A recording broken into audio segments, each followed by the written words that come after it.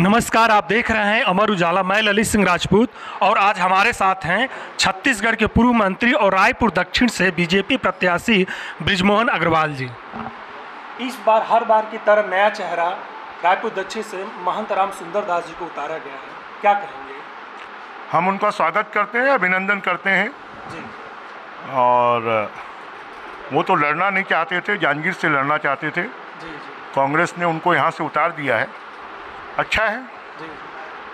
हर बार आपको उनका आशीर्वाद महंत जी का मिलता रहा है। इस बार वो खुद चुनावी रण में है तो इस बार भी आशीर्वाद आपको मिलेगा। उनका आशीर्वाद पहले भी मिलता रहा है अभी भी मिलेगा। जी जी जी। सीएम भूपेश बघेल ने कहा है कि केंद्र सरकार मुझे भी जेल में डालना चाहती है उनको कोई मौका नहीं मिल पा रहा है।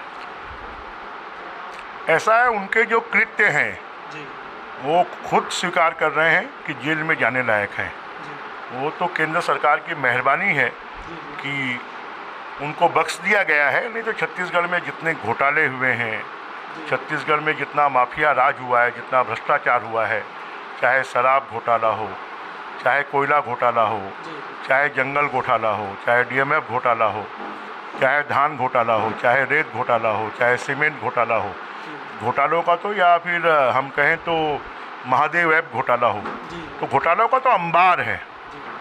और ऐसे घोटाले वाली सरकार को तो एक मिनट भी रहने का अधिकार नहीं है परंतु वो बने हुए हैं जनता इसका बदला आने वाले चुनाव में लेगी। मोहल्ला मानपुर में बीजेपी एक नेता की हत्या की गई है इसे टारगेट किलिंग भी करार दिया जा रहा है। हम पहले दिन से कह रहे हैं कि कांग्रेस पार्टी और उनकी सरकार लोगों को सुरक्षा प्रदान नहीं की पा रही है। और बीजेपी के नेताओं की टारगेट किलिंग पहले भी बस्तर में हुई है और अब मोहला मानपुर में टारगेट किलिंग होना ये अलार्मिंग है। हमारे अजय चंद्राकर जी ने पहले ही कहा है कि कांग्रेस पार्टी किसी की भी हत्या करवा सकती है। अगर वहाँ पर मोहला मानपुर में बीजेपी के कार्यकर्ता की हत्या हुई है तो मुख्यमंत्री को जवाब देना चाहिए कि सरकार नाम की कोई चीज़ है कि नहीं कानून व्यवस्था नाम की कोई चीज़ है कि नहीं। ये तो शुरुआत है। अभी चुनाव आने वाले 17 नवंबर को है। आज 21 अक्टूबर हुआ है। पूरा एक महीना बाकी है। अगर इसी प्रकार का होगा तो किस प्रकार से बीजेपी के कार्यकर्ता खुलकर काम कर पाएँगे? क्या लगता है कि ये पहले चरण के चुनाव को प्रभावित करने के लिए ऐसा किया जाए निश्चित रूप से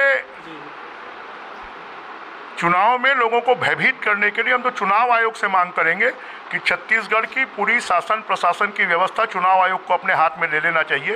ये टारगेट किलिंग ने इस बात को बता दिया है मोहला मानपुर के बीजेपी कार्यकर्ता की हत्या को कि ये शासन और ये प्रशासन चुनाव को संभाल नहीं सकता, लोगों को जीवन को बचा नहीं सकता।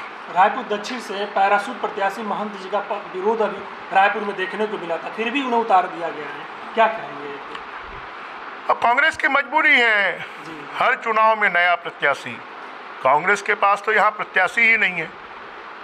और महंत जी को बिना इच्छा के उतारा गया है।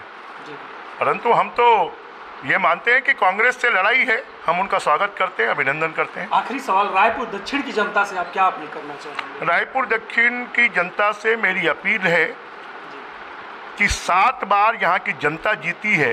और आठवीं बार भी रायपुर शहर के विकास के लिए, राजधानी के अनुरूप विकसित करने के लिए, गड्ढापुर से मुक्ति के लिए, धूलपुर से मुक्ति के लिए, चाकूबाजी से मुक्ति के लिए और यहाँ के विकास के लिए फिर से कमल फूल का बटन दबाएँ और भारतीय जनता पार्टी को जिताएँ। और यहाँ से संदेश दें कि पूरे छत्तीसगढ़ में भारतीय जनता पार्टी जीते और बीजेपी की सरकार बने और फिर से विकास का द्वार खुले। तो ये थे हमारे साथ ब्रिजमोहन अग्रवाल जी, जिन्होंने कहा कि सात बार रायपुर की जनता जीती है और आठवीं बार भी रायपुर की जनता जीतेगी। अमर उजाला के लिए रायपुर से मैं ललित सिंह राजपूत। अमर उजाला, अब आपके टीवी पर भी। अपने स्मार्ट टीवी पर यूट्यूब पर सर्च करें अमर उजाला। चैनल सब्सक्राइब करें और देखें ताज़ा खबरें। वो भी HD क्वालिटी में। और हाँ बेल आइकन दबाना ना भूलें, ताकि हर खबर हो आपके घर। अमर उजाला। निष्पक्ष निर्भी निरंतर।